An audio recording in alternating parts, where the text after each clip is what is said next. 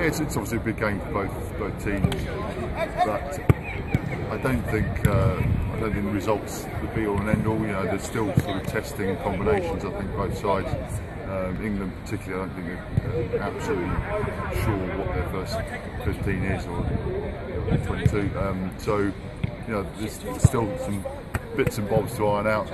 Um, so they'll use it as another sort of testing ground. But obviously, confidence boost uh, will come from a, a decent win at home.